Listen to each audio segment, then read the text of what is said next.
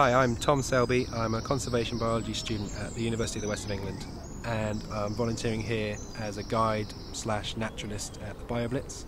I've been taking a group of um, some of the other guides and volunteers out uh, with a sweep net trying to see what we can uh, find in the vegetation around. Um, basically find a nice piece of vegetation it's going to have a lot of invertebrates in it which doesn't have too many brambles because you want to avoid getting a tear in your net that's going to let things through and damage it completely irreparably. So this stand of ferns is looking pretty good so I'm going to give it a go now.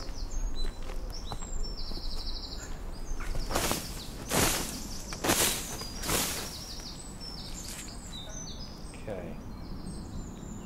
I've got a lot of fern which isn't exactly what I was looking for.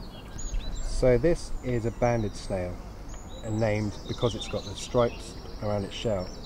But the interesting thing about this species is the, the thickness and the number of stripes and the colour of the stripes varies a lot.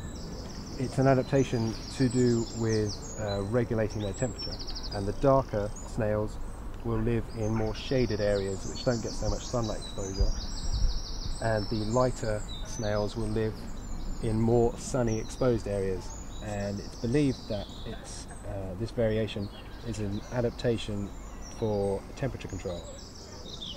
Wow, that's cool. Got a, really nice, is a sawfly larva. This is how to distinguish it from a, a butterfly or moth caterpillar and it's to do with the number of different types of limbs it has. So it has two different sorts of limbs. At the front it has claw-like limbs and at the back it has the kind of squishy telescopic sucker limbs and in a sawfly larvae it will always have a minimum of six front limbs uh, which this does. The other distinguishing feature of a sawfly larvae is that its eyes are very prominent little black dots on its head. Uh, so that's another way that you can tell the difference between that and a butterfly caterpillar.